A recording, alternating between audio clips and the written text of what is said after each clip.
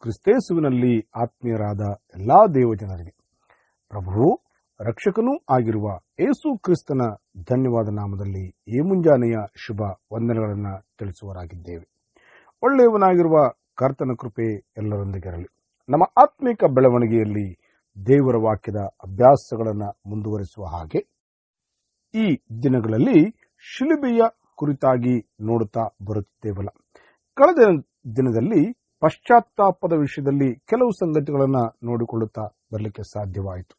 ಈ ದಿನದಲ್ಲಿ ಒಂದು ಪ್ರಾರ್ಥನೆಯ ವಿಷಯದಲ್ಲಿ ನೋಡಿಕೊಳ್ಳುವುದಾದರೆ, ಆದಿಕಾಂಡ ಪುಸ್ತಕದಲ್ಲಿ ಮೂವತ್ತೆರಡನೇ ಅಧ್ಯಾಯದಲ್ಲಿ ಇಪ್ಪತ್ತ ಆರರಿಂದ ಮೂವತ್ತೆರಡು ವಚನಗಳ ತನಕ ಓದುವಾಗ ಒಂದು ವಿಶೇಷವಾದ ಪ್ರಾರ್ಥನಾ ಸಮಯವನ್ನ ನೋಡುತ್ತೇವಲ್ಲ.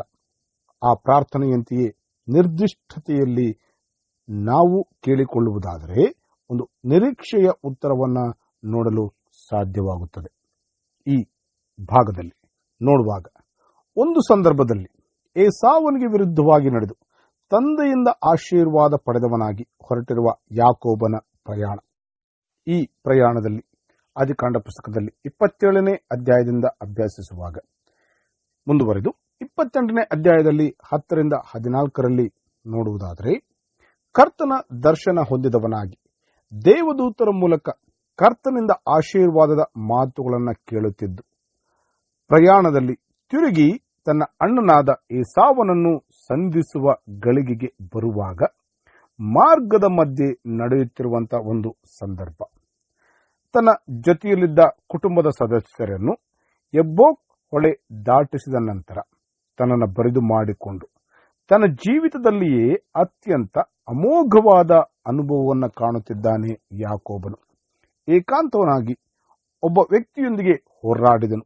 ಹೊಶೇನ ಪ್ರವಾದನ ಗ್ರಂಥ ಹನ್ನೆರಡನೇ ಅಧ್ಯಾಯದ ಮೂರು ಮತ್ತು ನಾಲ್ಕನೇ ವಚನದಲ್ಲಿ ಓದುವಾಗ, ಪೂರ್ಣ ಪ್ರಾಯದಲ್ಲಿ ದೇವರೊಂದಿಗೆ ಹೋರಾಡಿದನು. ಹೌದು, ದೇವದೂತನ ಸಂಗಡ ಹೋರಾಡಿ ಗೆದ್ದನು. ಅಳುತ್ತಾ ಆತನ ಕೃಪೆಯನ್ನ ಬೇಡಿಕೊಂಡನು ಎಂದು ಮುಂದುವರೆದು ಬರೆದದಾಗಿ ನೋಡುತ್ತಾ ಇದ್ದೇವೆ. ಇಲ್ಲಿ ಹೋರಾಟದ ಸಮಯದಲ್ಲಿ ಯಾಕೋಬನ ತೊಡೆಯ ಕೀಲು ತಪ್ಪಿಸಲ್ಪಟ್ಟಿತು. ಇದರಿಂದಾಗಿ ಆತನು ತನ್ನ ಜೀವಿತದ ಪೂರ್ತಿಯ ಸಮಯ ಕುಂಟುತ್ತಾ ನಡೆಯಬೇಕಾಯಿತು. ಯಾಕೋಬನು ಹೋರಾಟದಲ್ಲಿ ಶಾರೀರಿಕವಾಗಿ ಬಳಲಿದ ಅನುಭವದಲ್ಲಿ ಮುಂದುವರಿಯಬೇಕಾಯಿತು. ಆದರೂ ದೊಡ್ಡ ಆತ್ಮಿಕ ಜಯ ಗಳಿಸಿದನು ಎಂಬುದಾಗಿ ನೋಡುತ್ತಾ ಇದ್ದೇವೆ. ಸೋಲಿನ ಮೂಲಕ ಜಯ ಗಳಿಸುವುದನ್ನು ಮತ್ತು ಬಲಹೀನತೆಯಲ್ಲಿ ಬಲವುಳ್ಳವನಾಗಿರುವುದನ್ನು ಅವನು ಕಲಿತುಕೊಂಡನು. ತನ್ನನ್ನು ಮತ್ತು ತನ್ನ ಬುದ್ಧಿವಂತಿಕೆಯಲ್ಲಿದ್ದ ಭರವಸೆಯನ್ನು ಬರಿದು ಮಾಡಿಕೊಂಡು ತನ್ನನ್ನು ತಾನು ಯಾರು ಎಂದು ತಿಳಿದುಕೊಂಡನು. ಆಗ ದೇವರು ಅವನ ಹೆಸರನ್ನು ಇಸ್ರಾಯೇಲ್ ಎಂದು ಬದಲಾಯಿಸಿದನು. ಅಂದರೆ ದೇವರು ಆಳುತ್ತಾನೆ ಅಥವಾ ದೇವರೊಂದಿಗೆ ಹೋರಾಡುವವನು ಎಂಬ ತರ್ಜುಮೆಗಳಲ್ಲಿ ನೋಡಬಹುದು.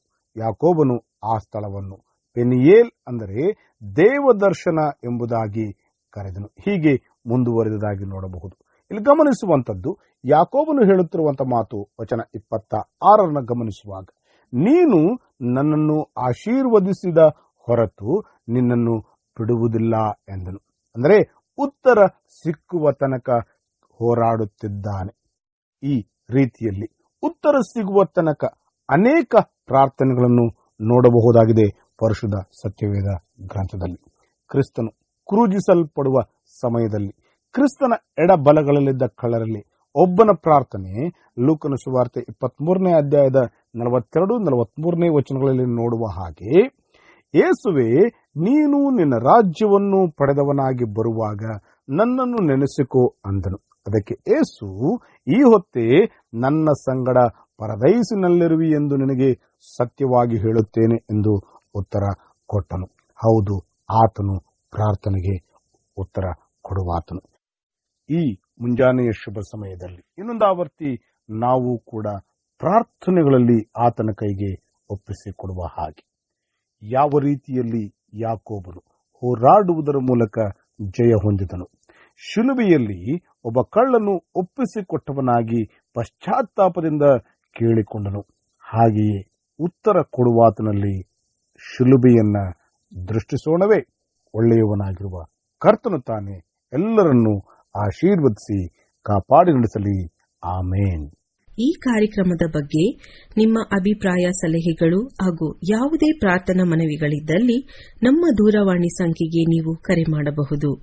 ನಮ್ಮ ದೂರವಾಣಿ ಸಂಖ್ಯೆ ಒಂಬತ್ತು ಒಂಬತ್ತು ಸೊನ್ನೆ ಎರಡು ಆರು ಸೊನ್ನೆ ಆರು ನಾಲ್ಕು ಐದು ಮೂರು. ನಿಮ್ಮ ಅಭಿಪ್ರಾಯಗಳನ್ನು ಇಮೇಲ್ ಮೂಲಕವೂ ನಮಗೆ ತಿಳಿಸಬಹುದು. ನಮ್ಮ email ID info at fiba online dot O R G ವಂದನೆಗಳು.